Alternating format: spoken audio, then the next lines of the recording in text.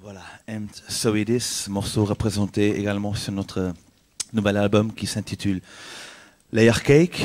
Euh, layer Cake, donc comme euh, Jean-Jacques avait déjà expliqué, un gâteau avec différentes couches, donc qui peut représenter un peu tout. Donc, euh, disons la, complexité d'une relation, la complexité ou d'un être humain en tout court, d'une d'une évolution aussi. Donc, euh, Layer Cake, pour moi, un titre qui euh, qui peut tout dire en fait euh, et rien du tout. C'est une interprétation plutôt personnelle.